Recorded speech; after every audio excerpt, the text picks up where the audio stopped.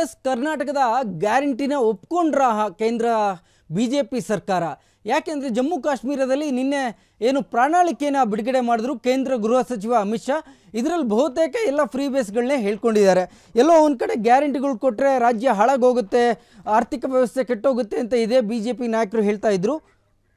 B J P ನಾಯಕರು ಹೇಳ್ತಾ ಇದ್ರು ಇದರ ಬೆನ್ನಲ್ಲೇ ಇವಾಗ ಸರಿಸುಮಾರು ಇಪ್ಪತ್ತೈದು ಸಂಕಲ್ಪಗಳು ಇರೋ ಪ್ರಣಾಳಿಕೆಯನ್ನು ಇವರು ಘೋಷಣೆ ಮಾಡಿದ್ದಾರೆ ಇದರಲ್ಲಿ ಪ್ರಮುಖವಾಗಿ ಮುನ್ನೂರ ಎಪ್ಪತ್ತನೇ ಏನು ವಿಧಿ ಇತ್ತು ಇದು ಮರುಸ್ಥಾಪನೆ ಯಾವುದೇ ಕಾರಣಕ್ಕೂ ಸಾಧ್ಯ ಇಲ್ಲ ಅಂತ ಹೇಳಿದ್ದಾರೆ ಕೆಲವೊಂದು ಫ್ರೀ ವ್ಯಾಪ್ಸ್ ಕೂಡ ಕೇಂದ್ರ ಸಚಿವ ಅಮಿತ್ ಶಾ ಕೊಟ್ಟಿರುವಂಥದ್ದು बड़ी दुख की बात है विगत दिनों में एनसी का एजेंडा मैंने पढ़ा है और एनसी के एजेंडे को कांग्रेस का मौन समर्थन भी मैंने देखा है मगर मैं आज आप सभी पत्रकार भाइयों के माध्यम से पूरे देश को स्पष्ट कर देना चाहता हूँ।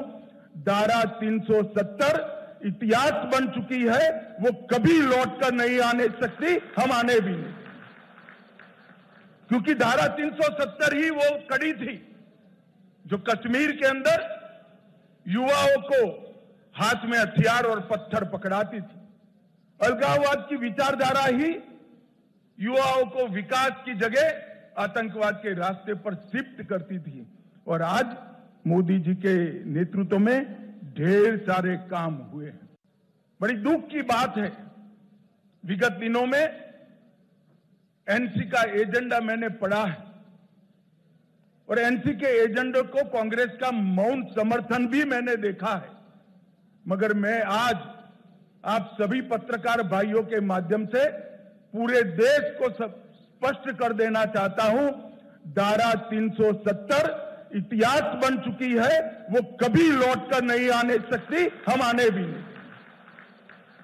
क्योंकि धारा 370 ही वो कड़ी थी, जो कश्मीर के अंदर युवाओं को हाथ में हथियार और पत्थर पकड़ाती थी।